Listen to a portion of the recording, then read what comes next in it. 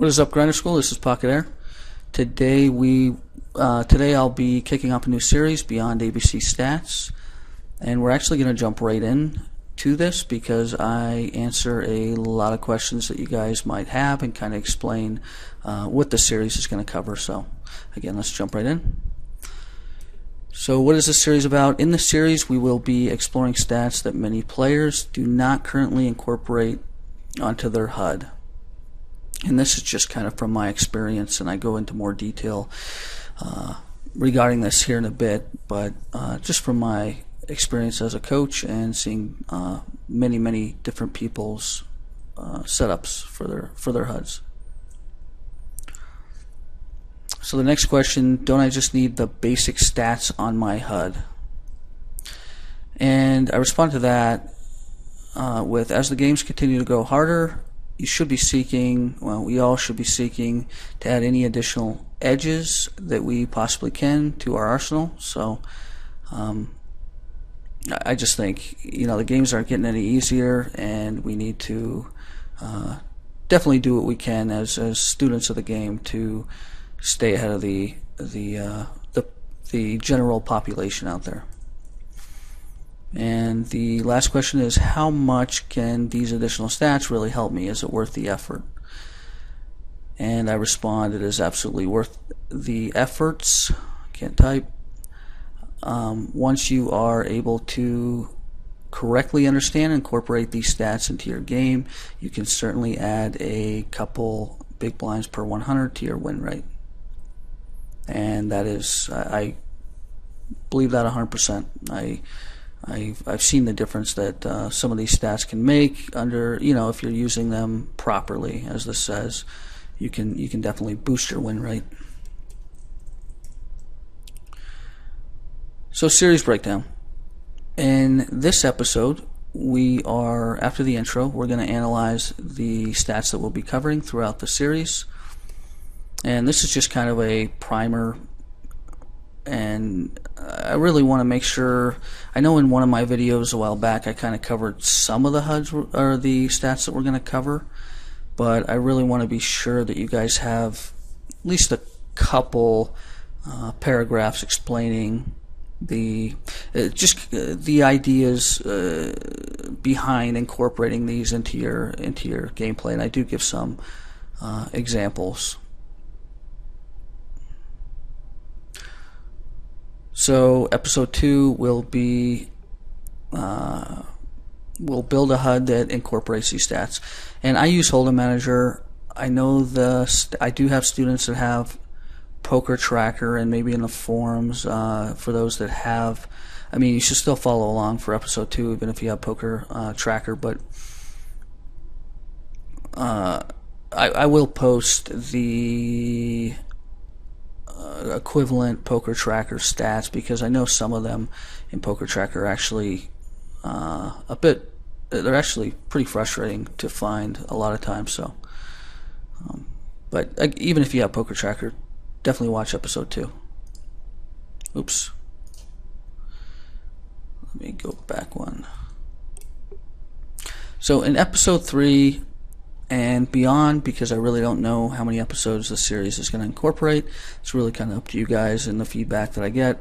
But I am planning on at least having two or three live play videos to make sure we emphasize and cover uh, all of these stats. Uh, I, I, really don't want to end the series until I feel that we've, uh, you know, in each video we've really, in each live play video, I'm sorry, we've uh, um, been able to demonstrate them. So that's kind of what it says live play videos that will demonstrate how I use these stats in my everyday play.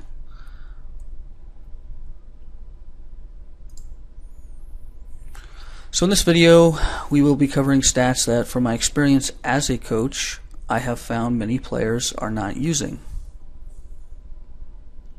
For some time, as I continued uh, to bring on students, I was pretty lenient in terms of a student's HUD. I figured it was something that they had grown accustomed to, and as long as they had the basic stats such as VPIP, PFR, flop C-bet, 3-bet, fold to steal, steal, etc., I should be fine with it. Um, I guess I kind of looked at HUDs. Uh, I guess I kind of looked at them as the equivalent of a live player's, uh, like a live player's wardrobe. Some live players like to wear hoodies. Some live players like to wear sunglasses, and you know I didn't want to just jump in and change their HUD around. So I then discovered, although I was turning losing players into winning players and boosting overall win rates as a whole, there were many situations that I knew we could have done uh, better given the proper data uh, using some of these additional non-ABC stats that we're going to cover in this series. How did I know this? Well, because my personal HUD has these stats and I was using them, you know, I've been using them for some time to exploit opponents on a daily basis.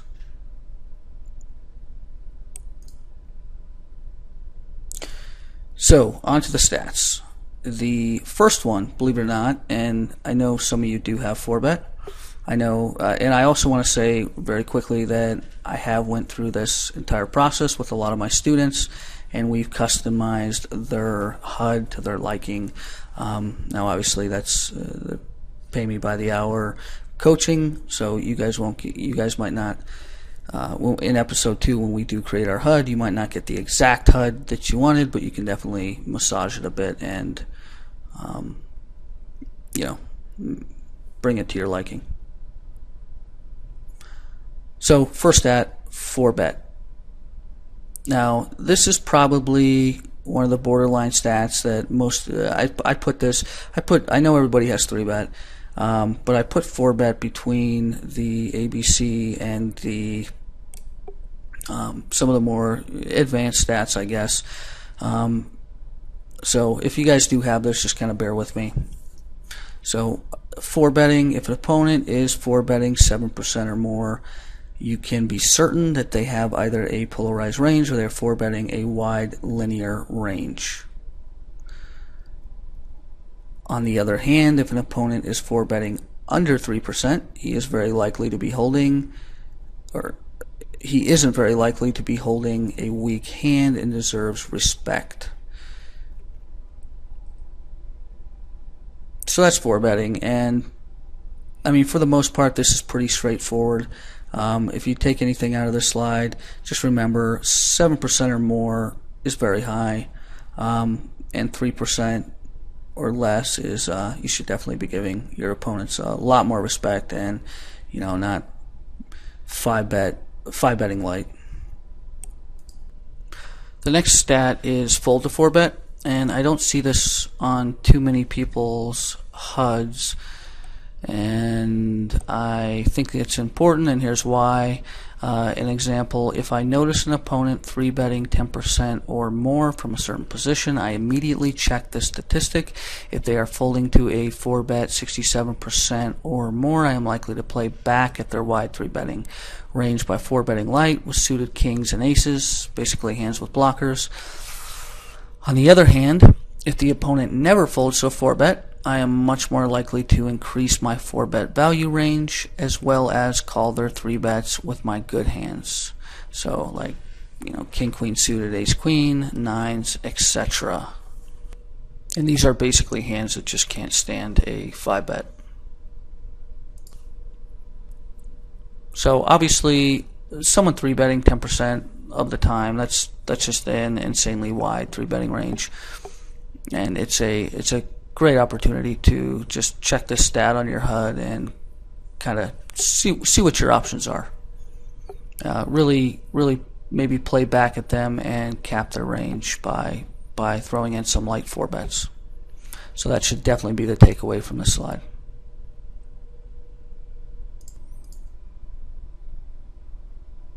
So the next stat is raise post flop, and this is mainly on the flop.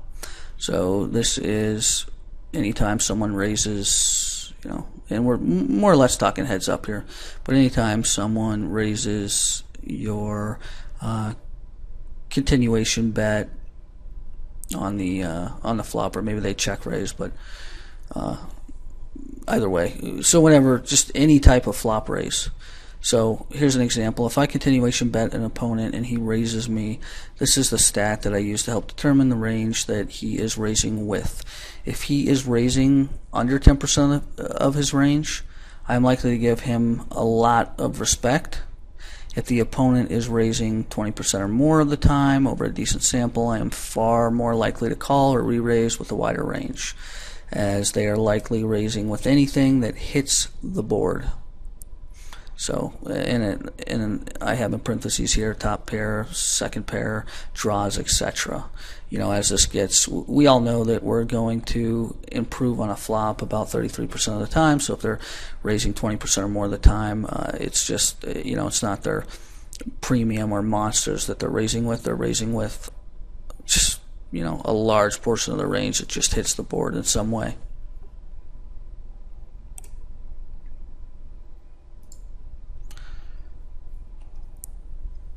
So the next stat is fold to post flop raise, and this is again mainly on the flop.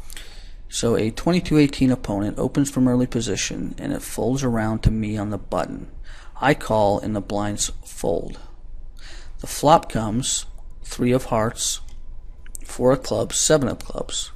He continuations continuation bets.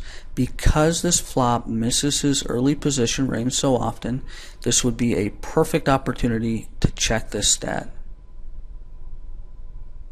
If I find he folds 65% or more to a flop raise, I am very likely to raise him in this situation. I can simply rep so much more on this board than he can. So I think this kind of speaks for itself. Uh, this goes back to ranges, and if you guys recall the video that I originally, uh, my my range versus range video that I did with Deb, you can kind of go back and look at that. But when a uh, this is just one of those. In this example, this is a situation where if he's opening open, opening from early and he's a fairly competent looking player uh, with a VPIP and PFR of 2218, then a flop like this just isn't going to hit his range, and we can definitely rep a lot more uh, nutty type hands. You know, if we're on the button, maybe we're flatting a pocket pair or a suited connector or something like that. So extremely profitable. Definitely keep an eye on this. Uh, if you take anything away from this slide, take away the fact that uh, we're looking for, I mean, this is still a micro, so we do want this percentage to be fairly high, um, maybe even 68% or so. Uh, before we really start playing back at them. And remember, with all these stats, it's always better to have some type of equity. You know, even here, a uh, on the three of hearts, four of clubs, seven of clubs, maybe a backdoor uh, uh, straight or something.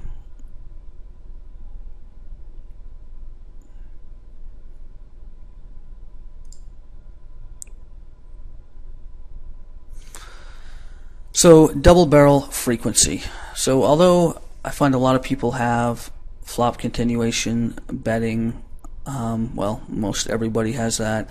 Um, the double barrel frequency, which is the c-bet turn, uh, not too many people are using that from my experience, and I think it's a very important stat. And here's an example of why. If an opponent c-bets the flop a large percentage of the time, 70% or so, but he only continues on the turn 40% or less of the time, I am likely to float him on the flop with a wide range. On the other hand, if there isn't a large gap between their flop and turn C betting frequency, or they have a very tight, uh, or they're very tight on the flop, I am far less likely to continue without a decent hand. And this one again kind of speaks for itself. The idea is the wider they are continuation betting, on the flop, you know, the more junk they have in their range, and the a lot of times if their turn C bet is far less, they're one and dunning, so they're giving up after they bet uh, most of their uh, entire range, which includes mostly trash. Um, so by floating them, they aren't going to C bet the turn much, and then you can therefore take away the pot uh, when they when they check to you on the turn.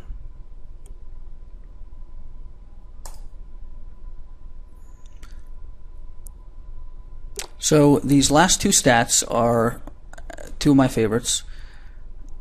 And the first one here is check fold. And an example of this is if an opponent checks instead of continuation betting after opening preflop, I immediately check the check fold stat. If they are folding at 70 plus percent of the time after raising, I'm sorry, if they are if they are folding 70% of the time, I had a typo here, after checking, so if they c bet and then check, I will be stabbing very frequently with a very wide range. This is money plain and simple. I also use this stat to maximize value against opponents who almost never fold after checking. So an example is they like to slow play medium strength hands, top pair, uh, or maybe second pair, or calling stations. Because if I know they check and they sit there and call down, obviously I'm not betting half pot with a with a big hand. I'm going to be betting uh, a lot bigger so that I maximize my value, and I use this stat to determine that.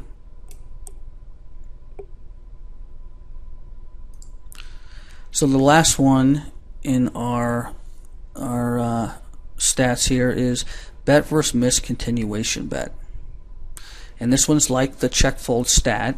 If I check a flop instead of continuation betting, I use the stat to help determine how often opponent, an, an opponent will stab against me. This helps me adjust uh, adjust my calling range.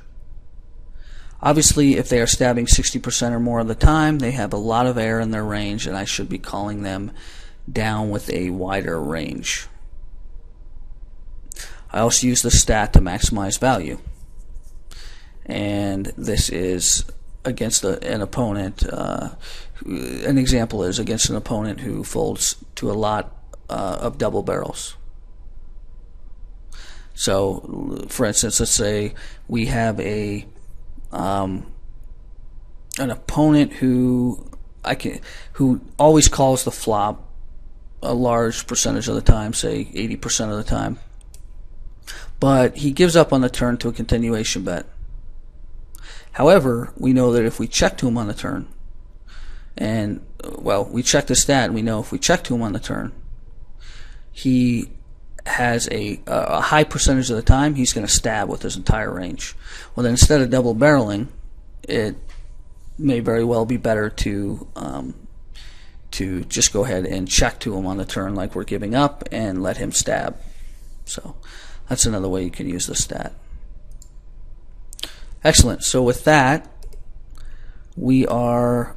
Uh, I think we're going to head over to episode two and hope you guys enjoyed this uh, episode two. We will be creating our, um, well, we will be constructing our HUD and incorporating some of these stats, and I'll kind of show you guys the layout that I kind of like, and uh, you guys can follow along. And yeah, I'll see you guys here in the next week or so.